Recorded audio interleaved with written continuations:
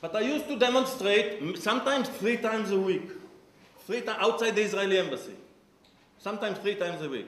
Sometimes we were five demonstrators, sometimes we were 50, sometimes we were 500. But we used to demonstrate. And quite often, when I demonstrated, there would come London Jews, would pass by,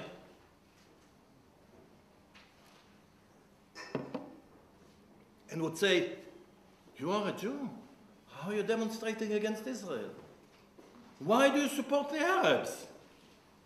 My answer used to be, I don't support the Arabs. So I said, Who do you support? I said, I support the oppressed. If I see an Israeli soldier oppressing a Palestinian, I will support the Palestinian not because he's Palestinian, because he's oppressed. And if I see the same man oppressing his wife, I will oppose him and support the wife because he became an oppressor and she is the oppressed. And I can, the same person, support him against Israeli oppression and oppose him on the question of his wife. And if I see the wife oppressing a child, I will support the child not because it is a child, because it is oppressed. And I oppose her because she is an oppressor. My rule is I oppose oppression. I don't divide the world into Jews and Gentiles. I divide the world into oppressors and oppressed. That's my division. You don't like it? Fuck off. You will support Jews even if they put Palestinians in gas chambers because they are Jews.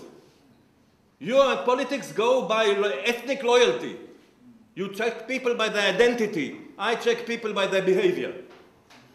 If the behavior is negative, I fight it. If it's positive, I support it. And my division is if people ask me, who are, who are you for? I say, I am for the oppressed. Everywhere, always. And I don't care about the identity of the oppressor. If it's my father, I'd be against him. If it's my prime minister, I'd be against him. I am against oppression. And that's why I stand to this day. And I think most of you, for you, it's not a big revelation, because more or less most of you accept the same principles. So uh, that's it. That's all I have to say.